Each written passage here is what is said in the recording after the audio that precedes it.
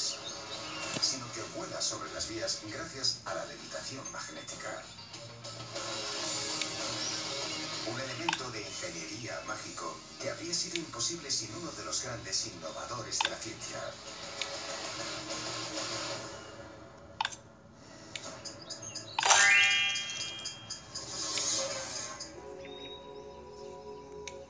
Michael Faraday nació en 1791 y era hijo de un herrero. No tendría la oportunidad de estudiar, pero consiguió revolucionar el mundo. Su laboratorio original aún existe en la Real Institución de Gran Bretaña. Y el físico Andrew Steele está comprobando cómo el descubrimiento de Faraday dio lugar a la levitación magnética. El nuestra forma de entender la relación entre la electricidad y el magnetismo. Una de las cosas que podemos hacer gracias a este entendimiento es un electroimán. El electroimán se compone de una bobina de alambre. Ambos extremos del alambre hay que conectarlos a una alimentación. Y por último, para magnificar el efecto magnético hay que colocar un trozo de material, por ejemplo un hierro, en mitad del imán. Vamos a conectar esto. Y para demostraros que es magnético, podéis comprobar que aun siendo extremadamente sencillo, podemos conseguir que el se pegue.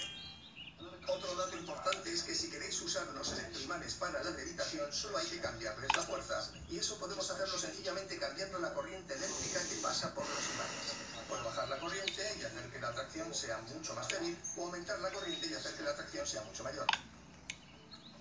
No solo podemos ajustar o encender y apagar los electroimanes a nuestro gusto, sino que son mucho más potentes que los imanes comunes.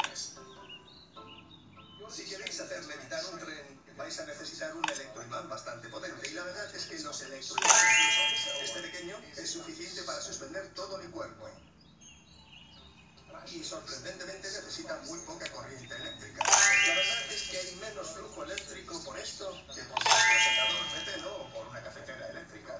El flujo eléctrico ya está pasando por este electroimán. Si lo conectamos con el trozo de metal que tengo por detrás, debería tener la suficiente fuerza como para suelo.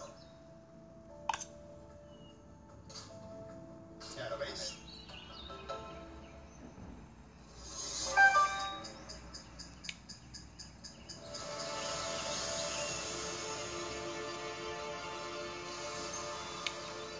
En el maglev de Shanghái hay un montón de potentes electroimanes instalados justo debajo de los vagones.